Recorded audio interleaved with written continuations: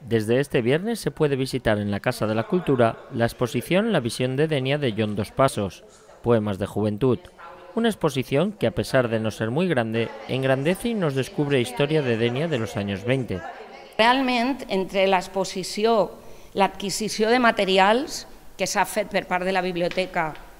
que ha que destacar-la, eh, de primeres edicions de l'obra en qüestió on estan els poemes, que únicament s'ha publicat en anglès, de moment no està traduïda a castellà. I hi ha tres obres importants, com esa de Rocinante, Vuelve al Camino, que és una obra important d'ell,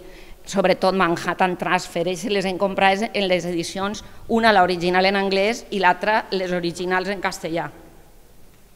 Pues tot això enriqueix també el patrimoni bibliogràfic de, de, de Denia i després s'ha fet un esforç per aconseguir les edicions més actuals per tant de que la gent, pues, aprofitant la situació, llisca John Passos, perquè en última instància eh, el que importa és que a nivell cultural tots guanyem un poc més, coneguem un autor i, i disfrutem llegint-lo i aprenem més, que, que, que en última és, és el que volem. Convidar a la gent que vinga a veure-ho perquè encara que no sigui una exposició tremendament gran, però hi ha detalls, hi ha llibres, hi ha fotografies de l'època que pensem que és molt interessant que, que la gent conega. Que jo crec que el conèixer a John Dos Passos, fer-lo conèixer, saber la vinculació, estem celebrant els 100 anys de passar per Dènia, eh, en les seues poesies que al final també vos explicaran que demostra que tenia una estima especial per Dènia i per, i per, i per un poc per la Marina, no? o per, per la resta de, del Mediterrani, sobretot i, i destacar que jo crec que això, esta, esta idea de, de, de fer conèixer a John Dos Passos, ens porta a que el llisguen, a que coneixen qui era l'escriptor i una aportació més al, a la història cultural de Denia. El recorrido de John Dos Pasos por Denia a principios de enero de 1917 nos relata su paso por la estación del tren,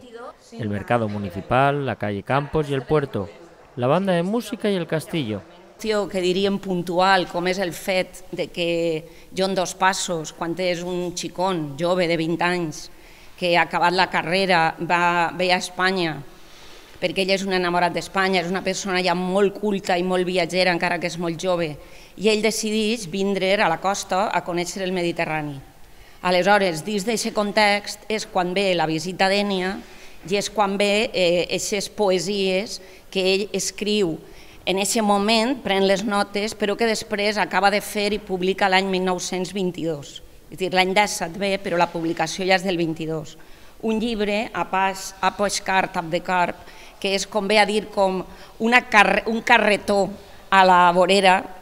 és la, la traducció poc d'alto baix, té sentit, s'explica en el catàleg el perquè d'aquest títol, i en ell s'inclouen eh, dos poesies dedicades a Dènia, una coneguda ja pels mitjans, la de que bonic és morir a Dènia, i una altra, eh, pensem inèdita, que, que està referida també a Dènia, perquè figura baix signat Dènia, i, i que ens conta mm, sobretot la situació del castell. Ella està clar que ve a Dènia, puja al castell i des del castell veu la ciutat, eh, dona poesia sobre les restes que troba, molt deteriorades, parla d'un cabrer, parla de la música que sent que està tocant-se en la plaça, vull dir, tota una sèrie de, de coses, de detalls que, que sí que ens donen, sí que impliquen que ell realment està en la nostra ciutat. El catàleg inclou un primer treball que, que he fet jo mateixa sobre, com si digueren, la, la dènia que es va trobar John Dos Passos quan ve en el 1917 hem recollit dades d'una guia coneguda d'Elias Tormo del Levante de l'any 23, que el detalla perfectament totes les infraestructures que havien, l'hem reproduïda, i després hem afegit detalls que estan relacionats a tota la investigació que al final hem tingut que fer per a poder per a poder il·lustrar este xicotet detall, que pareix mentira, però no sabeu la faena que hem fet darrere. Perquè quan són fets tan minúsculs i en un conjunt històric antic en un moment en el que no n'hi ha una rellevància, pues, aconseguir la informació no ha estat fàcil. Tota, tota la història ve d'una nota de peu, de nota, que apareix en un estudi que, que tenim recollit, que van comprar, de Catalina Montes, que es fa un estudi sobre la visió d'Espanya de John Dos Passos, és un treball dels anys 80, i té una nota de peu de pàgina en la que parla que li escriu una carta al seu amic Marvin Harris des de Xàtiva al mes de gener del des, de 1917. Entonces com, comencem eh, un estudi que he fet junt en Alan Swan a, a pensar quin itinerari fa. Partint de l'edició, eh, en, la, en el llibre eh, on es publiquen els poemes està primer el de les Torres Velles, que diu que és Dènia, després està el de que bonic és morir a Dènia, i després ve el del camí a la Villa Joiosa. Per tant, pensaven que de Madrid va vindre eh, primer pues, a València, en tren, que era el sistema de transport habitual, i després va vindre, consideren, va vindre pel nord. De Madrid se'n va a, a Múrcia,